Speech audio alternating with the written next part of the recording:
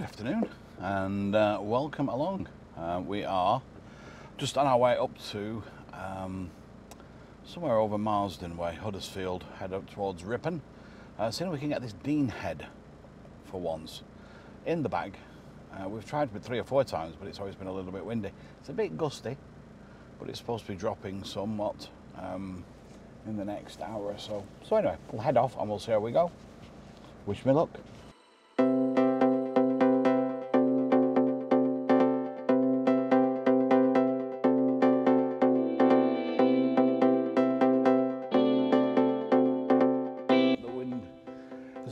Little, but it's meant to die down in the next hour just for sunset.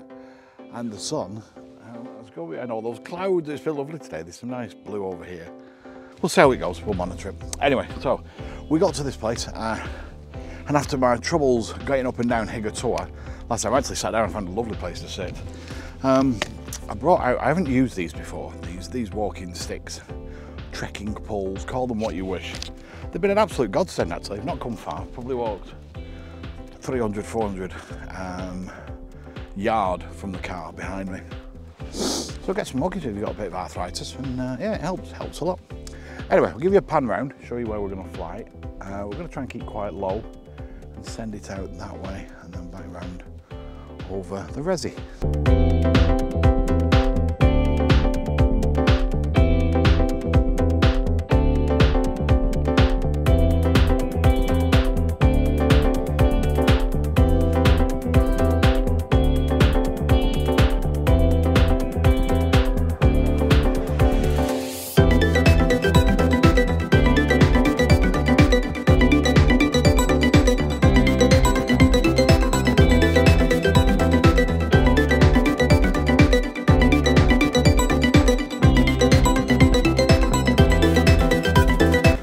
Of uh, back onto me. So, gonna have a brew, wait for the thingy to drop, and uh, set the time lapse up, and um, it should be tickety boo. Wish me luck.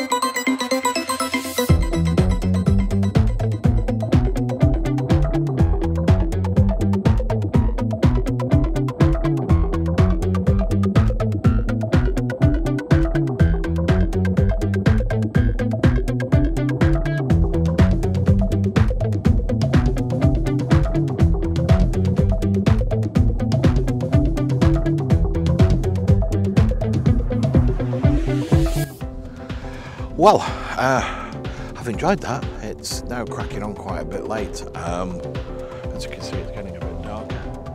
Some lovely light behind me here. I don't know if you're picking it up. Um, but we are just after sunset. Um, got some brilliant light reflections off the uh, off the water with the drone, but we'll see. Oh, got my new gloves as well. You like my new gloves?